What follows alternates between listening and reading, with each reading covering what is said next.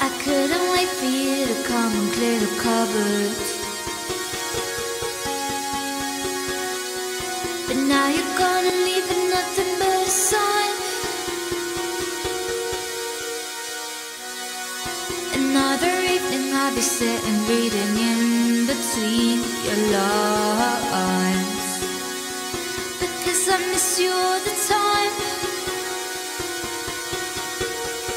So